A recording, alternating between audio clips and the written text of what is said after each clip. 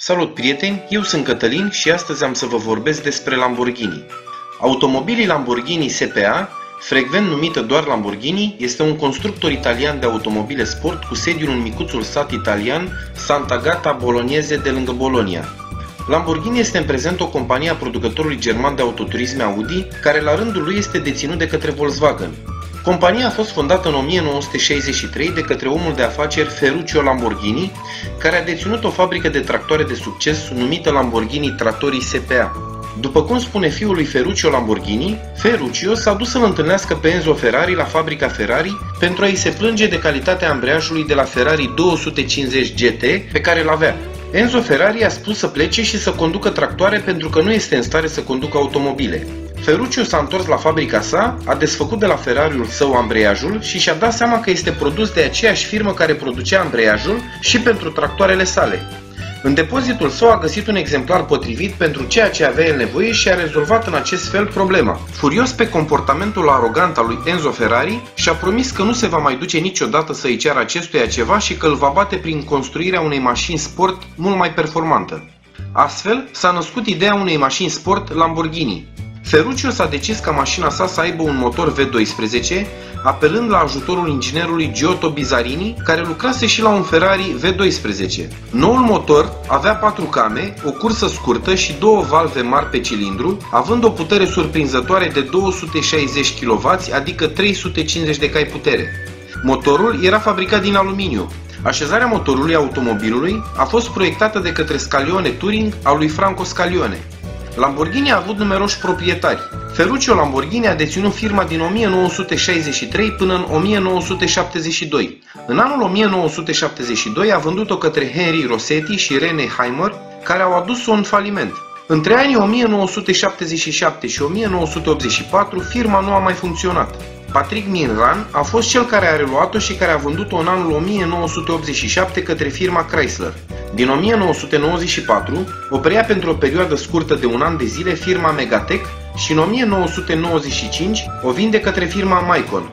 Trei ani mai târziu, firma ajunge sub proprietatea Audi AG din anul 1998 până în prezent.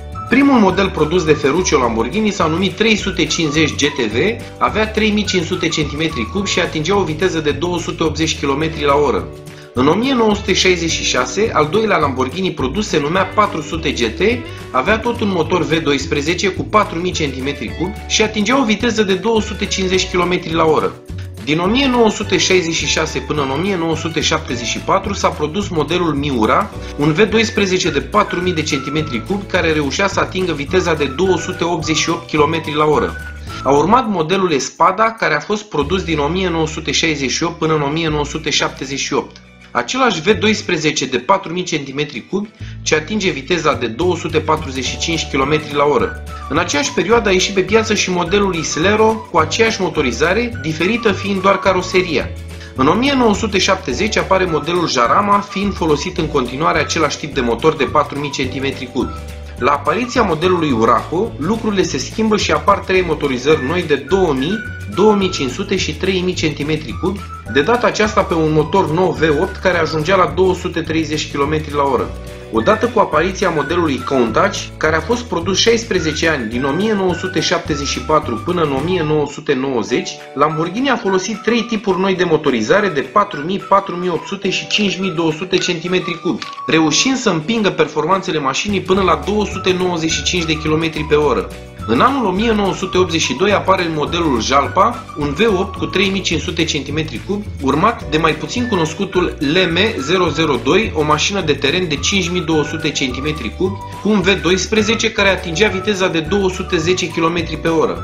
Din 1990 apare modelul Diablo, primul model care depășește viteza de 300 km la oră, ajungând la 330 de km cu două tipuri de motorizări, de 5700 și 6000 cm3. În anul 2001 apare Murcielago cu două tipuri de motorizări noi, de 6200 și 6500 cm3, ajungând până la 335 km pe oră. În anul 2003 apare modelul Galliardo, primul V10 cu 5000 cm3 care atinge viteza de 310 km la oră. Murcielago LP670 apare în anul 2009 cu un motor V12 de 6500 cm3, care ajunge până la 343 km pe oră. Tot în 2009 apare și modelul Reventon, primul model ce atinge o viteză de 356 km pe oră cu un V12 de 6500 cm3. În 2011 apare modelul Aventador LP704, folosind același V12 de 6500 cm3 care ajunge la viteza maximă de 350 km pe oră. În 2015 apare uimitorul Aventador LP750-4 Super Veloce. Acesta este considerată cea mai rapidă mașină creată de Lamborghini. Poziția pe care noul Aventador îl ocupe pe piață este una exclusivistă și asta și datorită designului ascuțit și a interiorului unic. Aceasta este prima mașină de producție care folosește materiale din carbon și inovația caracteristică numită Skin Lamborghini.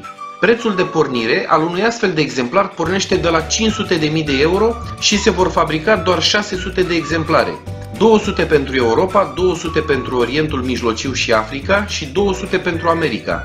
Cu o putere de 750 de cai la 8400 rotații pe minut și un motor V12 de 6500 cm3, noul Lamborghini atinge 100 de km la oră în doar 2,8 secunde, iar ca să ajungă la 200 de km pe oră, are nevoie de doar 8,6 secunde. Transmisia inovativă de înaltă calitate, Lamborghini ISR, a dotat această mașină cu cea mai rapidă cutie de viteză din lume. Tracțiunea permanentă integrală a mașinii, așa cum rezultă și din cifra 4 adăugată la numele noului Lamborghini, utilizează un sistem de cuplare controlat electronic numit Haldex Generation 4, un diferențial autoblocant pe care puntea spate și un diferențial electronic din față sunt controlate de SP, ceea ce face ca mașina să fie mai dinamică. Caracteristicile Aventador, adică motorul, transmisia, diferențialul, amortizoarele și direcția, pot fi adaptate la preferințele șoferului folosind cele trei moduri Road, Sport și Corsa. Dacă v-a plăcut acest episod, nu uitați să dați un like, share și subscribe. Eu sunt Cătălin și până data viitoare, numai bine!